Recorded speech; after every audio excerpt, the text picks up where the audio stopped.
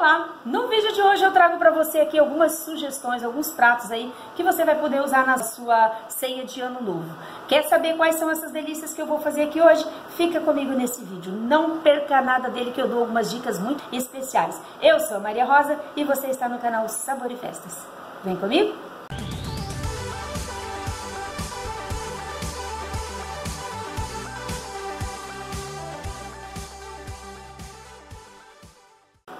Eu já vou começar preparando aqui uh, o tempero do peru, tá? Eu já vou mostrar ali pra vocês no fogão é, como é que eu vou fazer esse temperinho. É um temperinho muito simples, mas que tem precisa deixar de um dia para o outro. Então, nós já vamos direto para o tempero do peru. Dúvida é só deixar nos comentários aqui ou ir direto lá no direct do Instagram. Duas xícaras de vinho e quatro caldos de carne. Vou fazer um caldinho aqui pra gente temperar o nosso peru. 3 kg 580 gramas. Eu vou abrir esse peru. Tem o termômetrozinho dele aqui tudo certinho. Vou retirar de dentro dele essas, esses miúdos. Vou reservar aqui para farofa. E aqui agora, eu costumo lavar ele, tá? Eu dou uma lavada nele para poder tirar, sei lá, qualquer impurezinha. Então, eu vou dar uma lavada nele. Agora, com o peru lavado, aquele caldinho que a gente fez lá de duas xícaras de vinho branco, tá? Eu derreti os quatro caldos de carne e vou regar aqui o meu peru. Gente, essa dica aqui, quem me deu da cebola e do vinho com o caldo de carne foi a Roberta Brandão, uma inscrita aqui do canal. Roberta, um beijo pra você, querida. Obrigada pela dica, tá? Ela disse que esse peru na casa dela é sucesso ela pega uma cebola inteira e coloca dentro do peru, tá? Ela diz que esse é o segredo do peru dela. Então, ela me passou essa receita. Mas eu, como sou atrevida, eu vou pôr duas cebolas. Então, meu peru aqui, ó, eu vou pôr duas cebolas dentro dele. Olha aí. Duas cebolas. Agora, gente, vou regar aqui o meu peru, ó. Gente, a Roberta Brandão, a inscrita aqui do canal, disse que fica, esse peru aqui fica dos deuses, viu? Então, gente, receitinha da nossa inscrita aqui. Feito isso, gente, vou passar aqui um, um plástico aqui, deixar de hoje para amanhã, que é quando eu vou pôr esse peru no forno. Venho aqui de vez em quando, dou uma regadinha assim, ó. Pego a colher, rego aqui, tá? Pra ficar bem temperadinho até amanhã. Aí amanhã eu volto para mostrar para vocês como é que nós vamos assar. Fui regando o peru.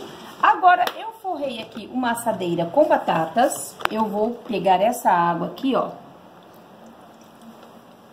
E vou dar uma última regada aqui no peru, ó. Tá vendo? Dar uma última regada nele. Coloquei ele em cima das batatas. Agora eu vou rechear ele. A farofa que eu vou utilizar para rechear peru é a mesma farofa do Chester. Eu vou deixar o card do Chester aqui, é a mesma farofa, tá? Levantar ele aqui e colocar a farofa lá dentro.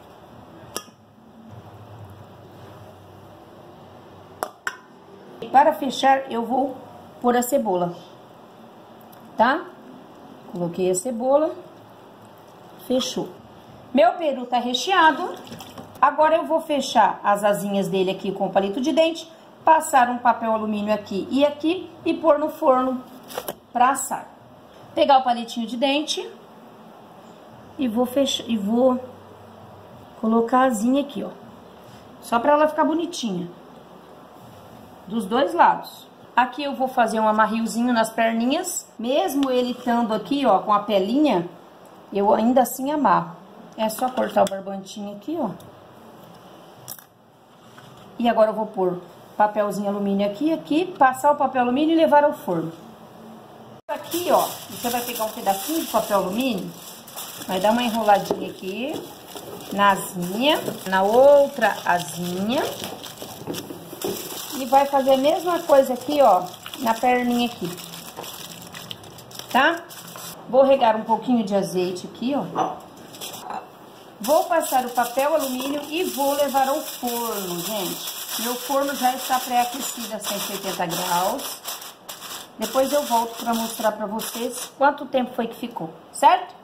Bom, pessoal, aqui eu tenho 6 quilos de costela. Eu vou limpar essa parte aqui e vou desossar ela para a gente começar a preparar a nossa costela recheada.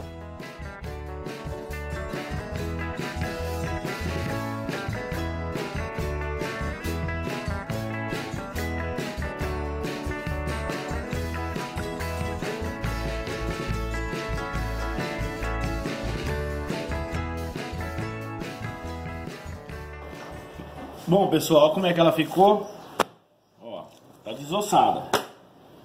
Agora, eu vou rechear ela aqui. Vou colocar meus recheios aqui. Vou enrolar ela, amarrar e vou colocar na churrasqueira de bafo.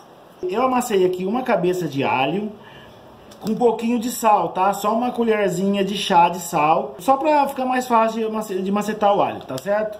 Então eu vou começar colocando ele aqui. Ele não precisa ficar bem macetado, não. Quanto maiorzinho, mais saboroso ele fica. Ele só tem que estar um pouquinho macetadinho, mas ele vai ficar gostoso aqui no meio. Então é a grosso modo, você não precisa macetar ele até ele ficar bem macetadinho, não. Não tem necessidade. Agora aqui, eu vou jogar um pouquinho de sal.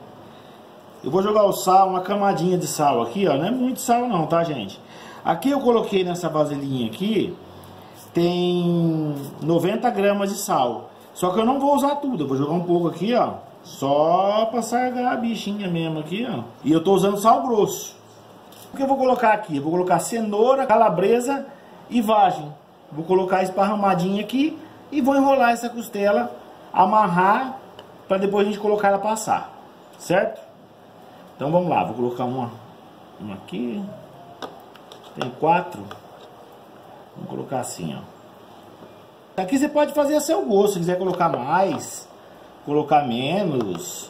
Quiser colocar mais alguma coisa, quiser colocar bacon aqui no meio, também pode. Aqui eu coloco ela meio esparramado, pra ficar mais bonitinho quando você cortar ela, tá? Tem gente que coloca tudo junto, já coloca cenoura aqui, linguiça tudo junto, faz um enrolado. Fica bom também. Na hora vai cozinhar tudo, vai ficar tudo gostoso. Agora eu vou enrolar ela. Vai pegar a parte mais fina da sua costela e vem enrolando, tá? Às vezes você pensa que coloquei muito sal no meio, mas não. A parte de daqui vai salgar essa outra parte aqui também. Prontinho, a bichinha tá enrolada aqui. Vamos amarrar ela agora. Pra ela não correr o risco de abrir, né? Na hora que a gente começar a assar ela, pra ela não abrir. Vou fazer um marril aqui. Marra o trem com gosto, viu? Catar aqui. É meio difícil de fazer, mas fica legal depois, depois de pronto. Fazer outro.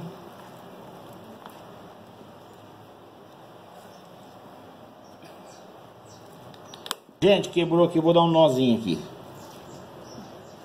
Meu barbante é fino, tinha que ser um barbante mais grosso. Mas como só tem esse, a gente tem que se virar com esse.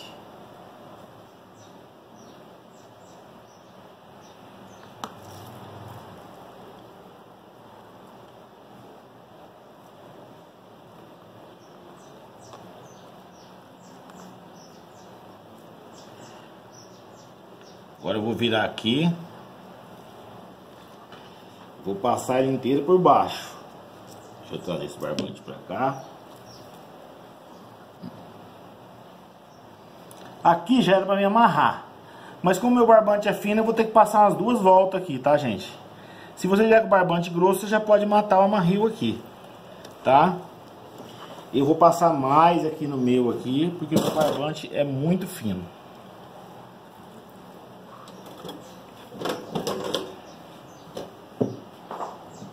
Até passar mais um aqui.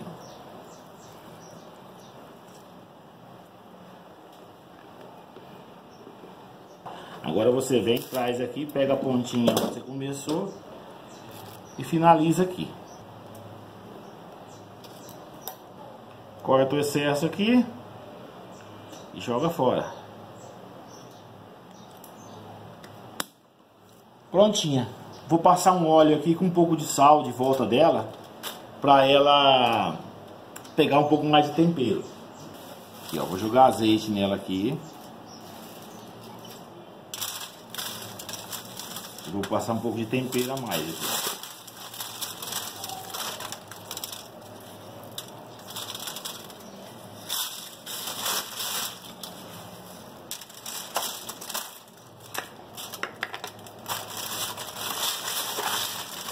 O azeite é mais é para não sair o sal, para ele dar uma grudadinha melhor aqui.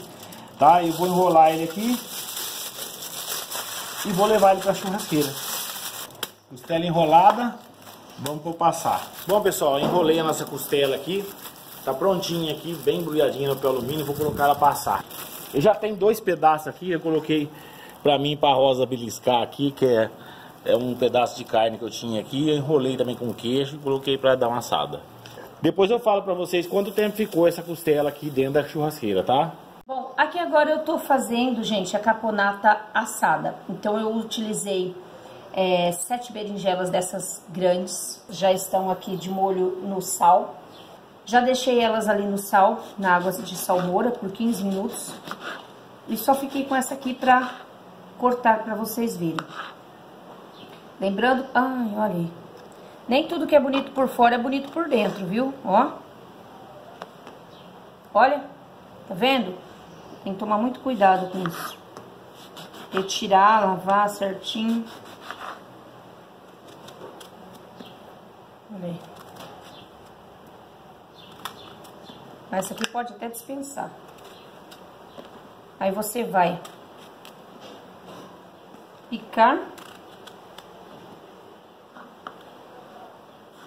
Depois, gente, eu vou deixar é, na descrição quanto foi que eu usei para fazer essa caponata de forno, tá? Quanto eu usei de pimentão, quanto eu usei de berinjela, de cebola e de todos os ingredientes necessários para fazer a caponata. Coloco aqui na água de salmoura, deixo aqui 15 minutinhos, depois eu venho para a gente temperar e levar ao forno.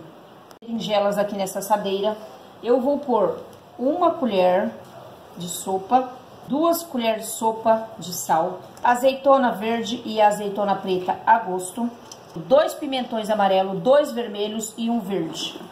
Dois pimentões grandes de cada um. Tem quatro cebolas grandes. Uva passa eu vou pôr uma, dez colheres de uva passa. Vou pôr 150 ml de molho inglês, 150 ml Aqui eu tenho desidratado é, alho, salsinha, cebolinha, orégano, vou pôr a gosto aqui. Mas isso aqui é a gosto também, tá? Vou pôr aqui um temperinho, gente, que a gente compra em casas de... Em casas que vende tempero, esses temperinhos prontos, tá?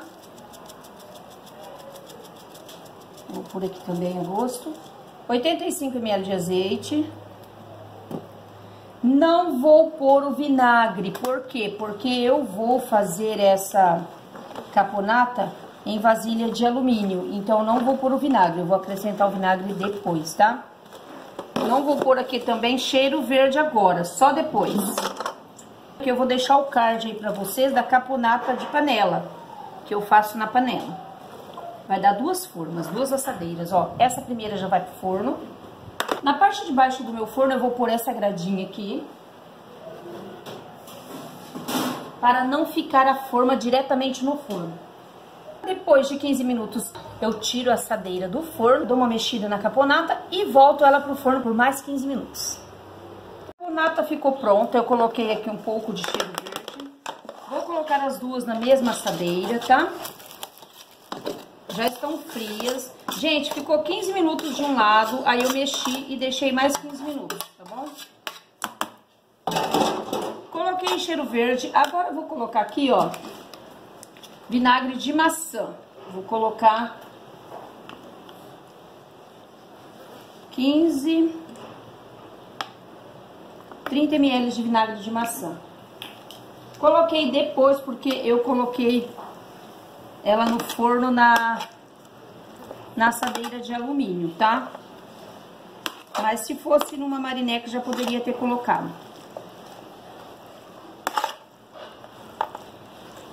Agora aqui é só colocar na vasilha que você vai servir. Olha aí, gente, que lindo ficou minha caponata de forno. Maravilhosa, né? Agora eu vou temperar minha maionese. Aqui eu tenho 2 kg de batata, 1 kg de cenoura, meio de vagem, azeitona preta e verde a gosto, tem um pouquinho de uva passa. Vou pôr duas latinhas de milho verde, suco de dois limões aqui, ó, na maionese. Sal eu vou colocar uma colher de sopa rasa de sal, porque infelizmente eu esqueci de cozinhar com sal. Vou pôr cheiro verde aqui e vou pôr cebola. Cheiro verde aqui, ó, você vai pôr a gosto, tá?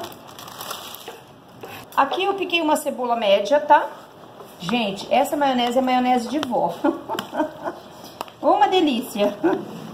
Agora eu venho com a maionese. Misturou.